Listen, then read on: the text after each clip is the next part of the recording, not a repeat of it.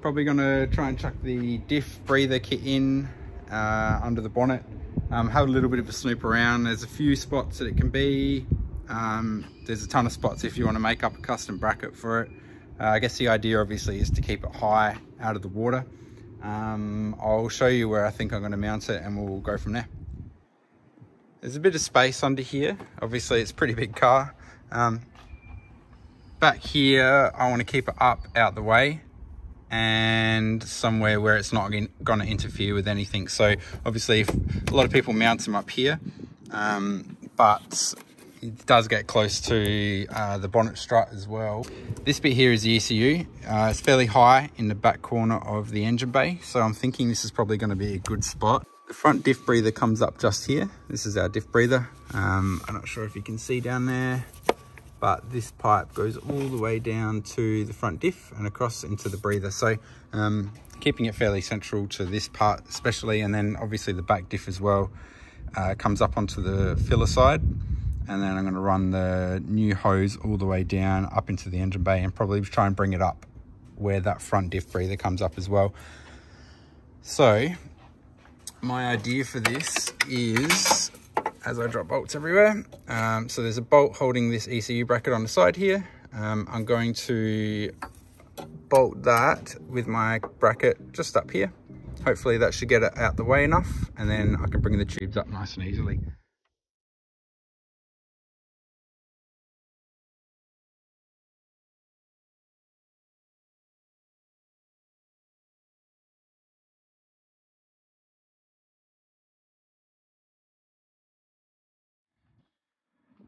Finished spot for the bracket.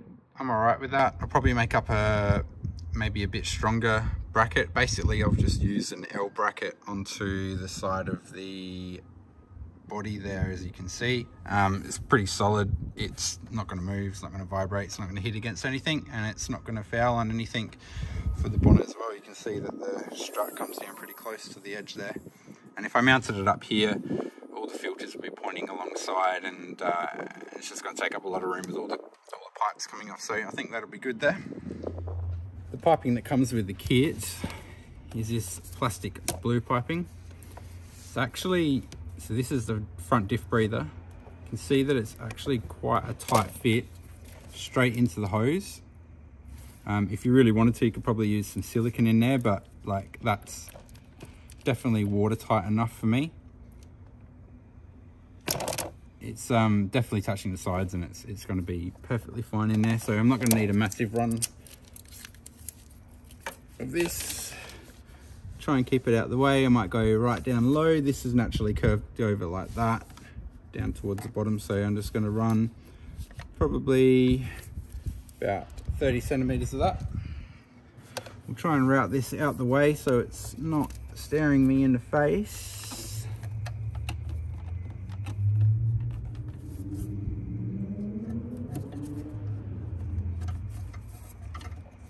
Keep it nice and neat. So we'll get this into the existing pipe. Let that go down here. And then we'll bring that up probably up around here I'd say maybe a little bit looser I'm going to cut that off there with a nice razor blade so it's got a nice square cut.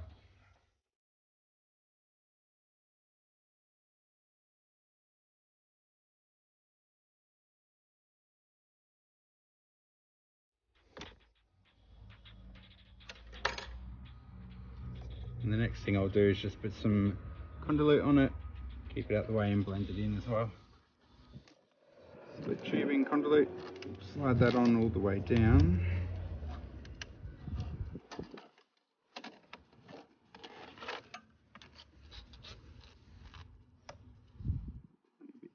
tiny bit long. Find the end.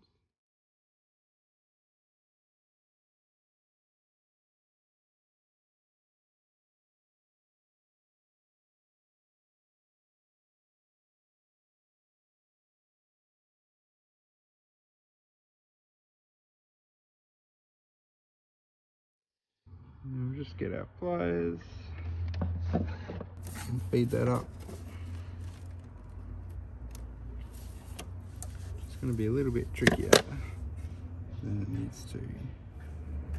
Alrighty, part one done. We'll do the rear diff now. Alrighty, for the rear diff, what I'm going to do, I think it'll be easier, is I'm going to start my start my feed from here. I'm going to go and channel it down the way that I want to go. So I'm actually going to try and follow this cape, this um, existing one that I've just done here, go down here along the chassis rail and all along all the way to the back. So we'll try and start feeding that down there as we go.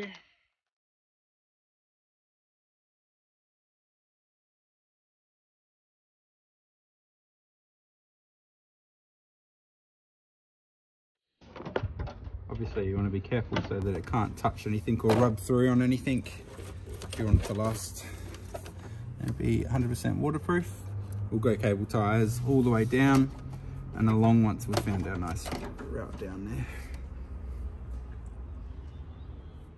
So I'm not sure if you can see down there. We've got a lot of moving parts um, down here obviously upper control arm. What I'm going to do is it's a bit hard for me to show you really but these um, brake lines here, what I'm going to do is once I've got the split tube convolute all fixed onto the normal piping, uh, I'm going to cable tie along these pipes and basically as much as I can follow them the safest route all the way down to the back of the car uh, to where the diff breather is for the rear. I'll show you under the car in a moment. So I'm not sure if you can see properly. I don't know if I can zoom in. But down here, right down here, there's an attachment on the wall that some of the lines, hard lines, uh, factory lines run through. Um, there's actually a spare. I don't know if all the patrols are going to be like that. TILs might be different, for instance. Um, I'll try and get a better shot, but there's some plastic clips and a, a heat shield, factory heat shield here, um, that these pipes run through from factory. So this middle section was spare uh, not used and the plastic clips and everything are there. And I was able to feed for the rear diff breather line um, this hose straight down through the middle section that wasn't being used. So that could be a good option. It's heat shielded it's out of the way it's away from the exhaust it can't rub through. I'll try and get a better shot from under the car. So under the car this is looking up from that part I was just looking down from. So you can see the that factory um, heat shield there, which will be quite handy just up here, attached to the wall. Um, so I'm gonna pull that blue hose without getting too much crap in my eyes. Down and through. Should be able to get a nice run back along the top of the chassis rail and out the way and all the way down to the end. Gonna need both hands for this. A bit tight under here. So forgive me for the camera angle. This line here which is actually for the HBMC it goes runs all the way down from what I can see it runs all the way down the side of this chassis rail all the way to the back. What I'm going to do is uh, utilize that run this tube and cable tie it multiple points all the way along uh, that's going to keep it up out the way and, you know, can't get pinched or rubbed through or anything like that.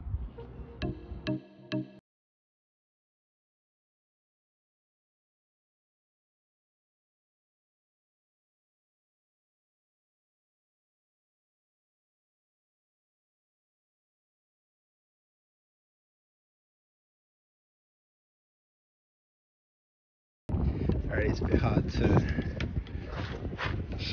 in here, but continuing just to run it along the existing pipe all the way down. Cable tying as we go.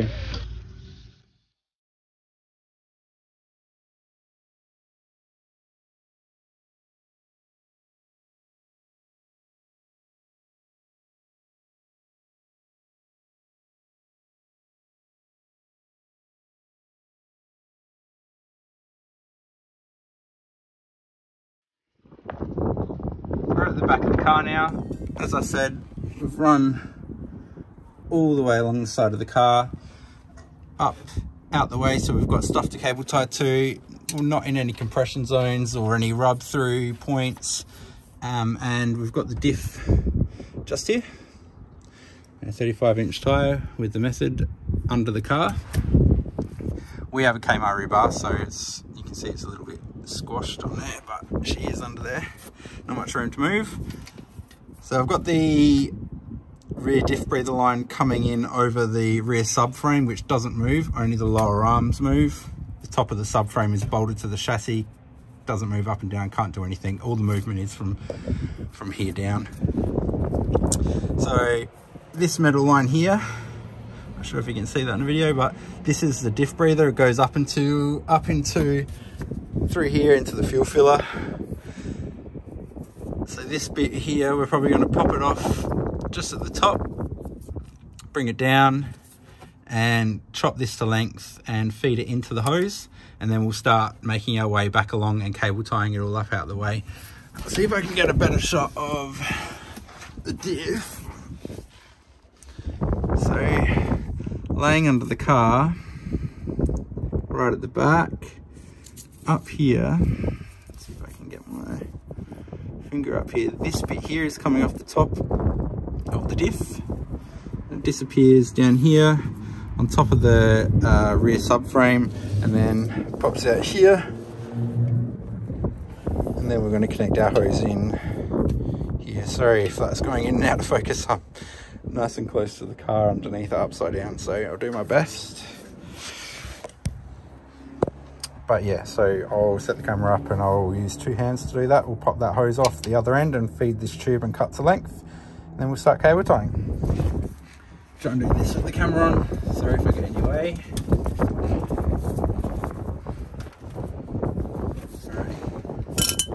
Got that off. I'm gonna curve this up around here in the general direction we're trying to go.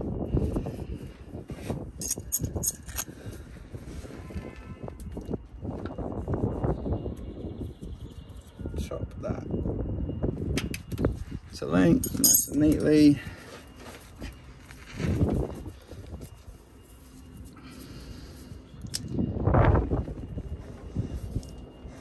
Push that in there a good amount. Like the front, it's a super tight fit. So I got about two centimeters in there, give or take. Honestly, I feel like that's going to be perfectly fine. Be watertight. Do what, if you're doing this or attempting this, make sure you feel comfortable with how you set it up. Don't take my word for it. Alrighty, that's in there. We can start cable tying that out of the way. Easy.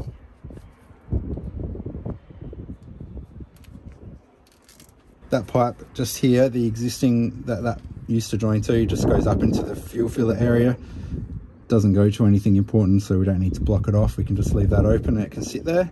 Um, so we've got this here, that's cable tied out the way. What I'll do is I'll make my way back forward, cable tying it and pulling it tight and making sure we're not rubbing through anything.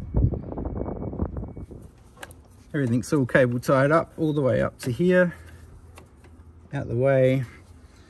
Pull some of this slack through. And I'll chuck a couple of another cable ties here.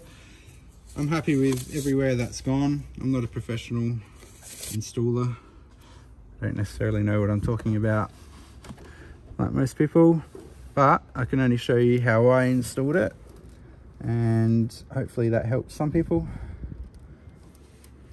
Let's pop some. Key thing is that you don't want it rubbing through or touching anything hot. Other than that, it's pretty straightforward. So I've done almost finished the front and rear diffs. And I'm about to chop off for about there roughly.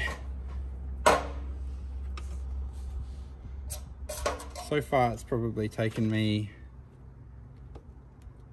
about half an hour. So it's not an overly complex job.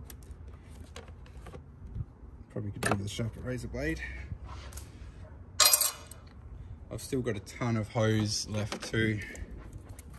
run that split shooting on there now.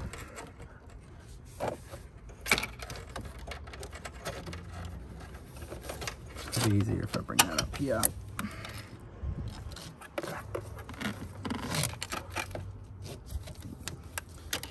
The main place that uh, it's going to have a rub out is probably in the engine bay here. So that's going to be the main place I focus on for the split tubing to come through. And what I might do is just try and slide that back down there. Lengthwise, they really, I mean, this is a big car. And they've given, given us plenty of the blue tubing. Tons left, I'll show you in a sec how much we got left. I'm trying, like I said before, I'm gonna try and run this in a similar way as the front diff, just so they can come up and look as neat as possible for a non-professional. Pushing it out of the way, we'll have another cable tie there in a sec.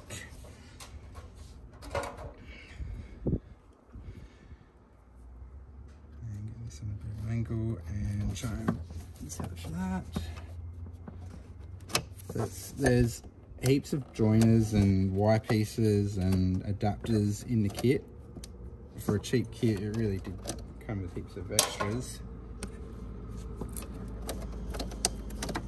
Um, so the trans and the uh, transfer case and the transmission are both buried behind there so it's going to be a top engine cover off um, and then pretty simple out of the way job. I can tuck it right up underneath um, underneath here and run along those lines and I can even come up into that normal position up into here. So I'm going to probably Y-piece the trans and the transfer case into one maybe or I might utilize that last one.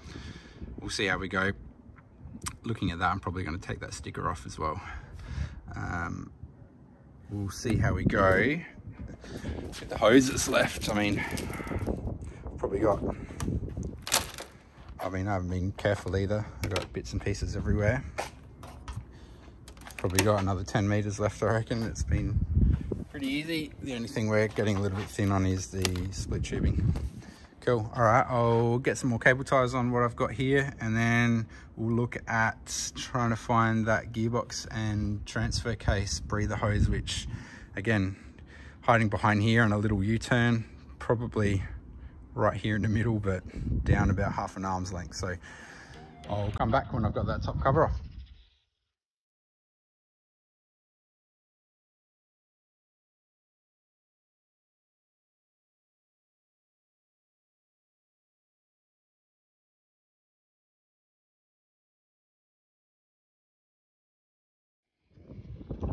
Just to give you an idea of how tight it really is down here. If I can focus in on that. They are the two breathers there. I'll try and circle them in post when I'm editing the video, but they're right on the back of the head. So you can see there's some plugs and some wires. I'm zoomed right in at the moment on those guys. So I've got to try and reach my hand back there. You can see that the two hoses right next to each other have both got one-way valve caps on them. Well, they're breathers. They do like a 90 degree bend, so water can't fall straight in them, but if you're underwater, they'd fill up with water. Um, good to try and get my hand in there and see if we can get them out. Um, again, I'm sort of, that was through, that's the front tail shaft there, and that's the exhaust header off that side. So yeah, again, it's super, super, super close and hard to get to. We'll go back up the top, and see if we can get to them.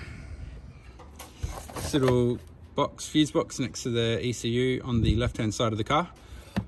One 10 mil bolt, one little clip, and that gets pushes out the way, and that sort of gives you a good angle to get your arm right in there. So I'm gonna put my arm in there now.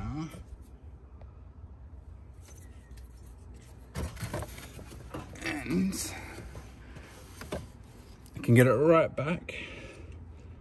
And I've got the two, oh, almost, I've got the two caps off the ends of the hoses. So I can focus on that. You see it's a, not going to really do anything. It's actually pretty useless. Good for stopping water from getting in the top. Got an open slit.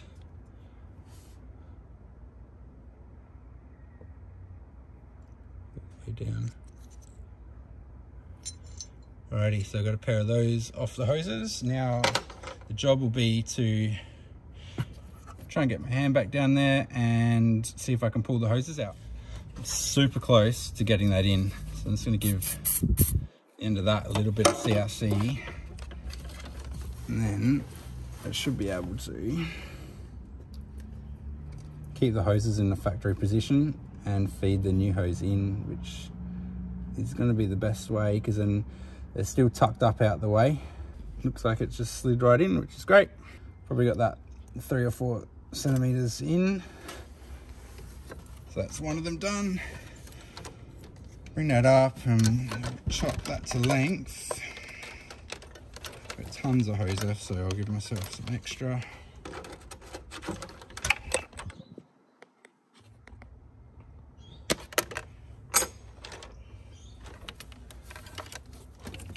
I'm going to try and come up out of the way over the top of everything important and away from that exhaust mainly.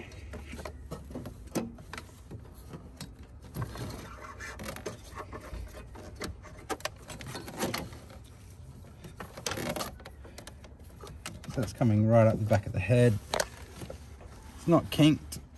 It's actually following the same direction as what they were, the hoses were before.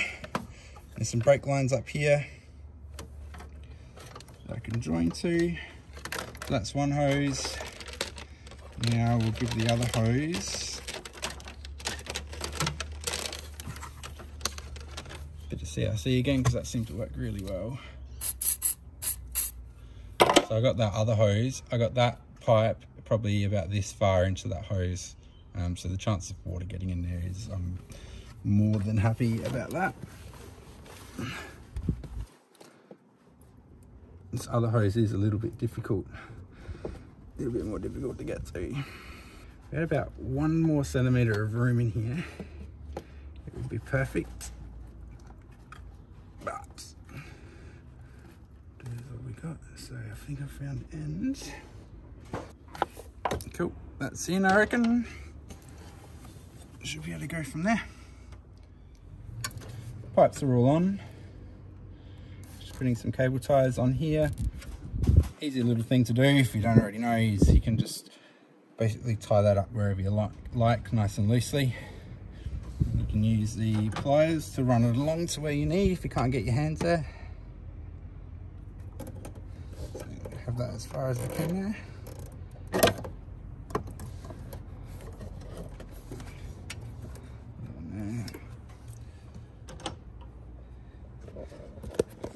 So I've got both our pipes.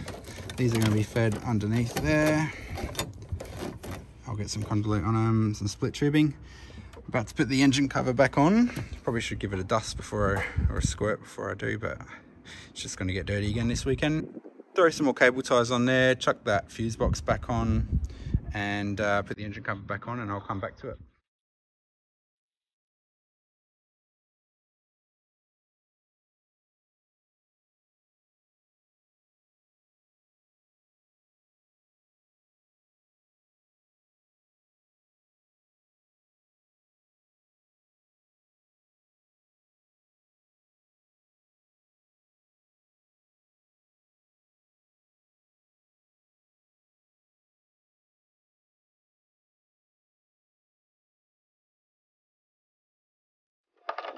That's all back how it needs to be.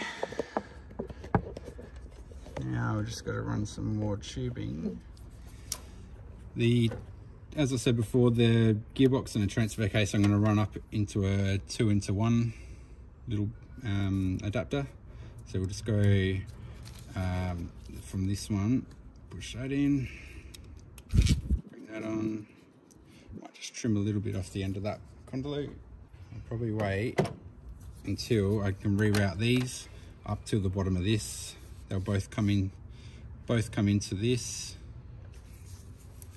Alrighty, I'm going to reroute these, bring them up into each outlet of here, and then that single one's going to go out the way up into the breather. So we'll get these over. Something about these guys, you need a ladder to get anything done on them.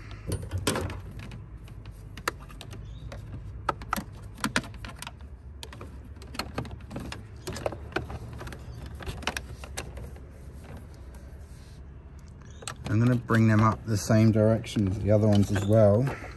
Again, just to, not that my install has been far from neat, but I'll try and keep it fairly uniform. At least I know where everything's going to run get any issues.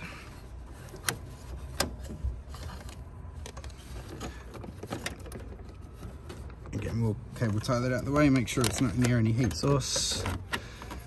The exhaust definitely gets hot.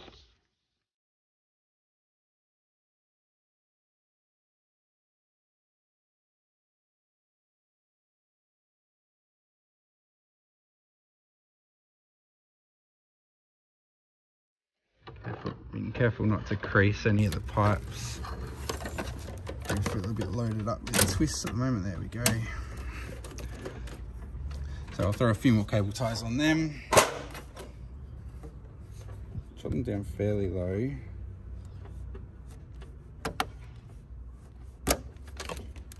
Hopefully they're nice straight cuts. They can seal.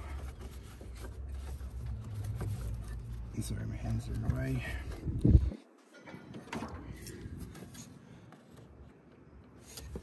Without squishing the pipe.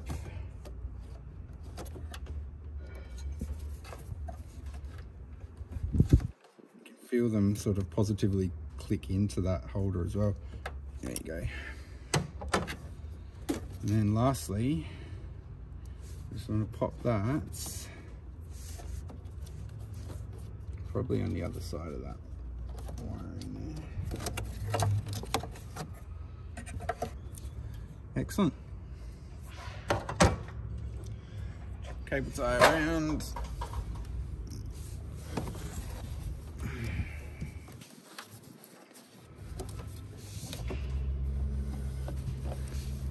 Here just to keep them up away from the exhaust.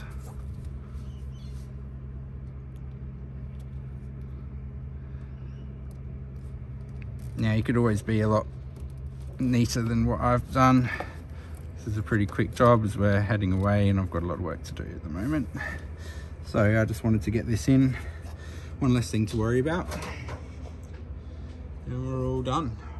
What I'm probably gonna do is get some more split tubing. I've run out of split tubing, um, but I'll probably get some more split tubing just to run on this bit, just so it's all black and out the way.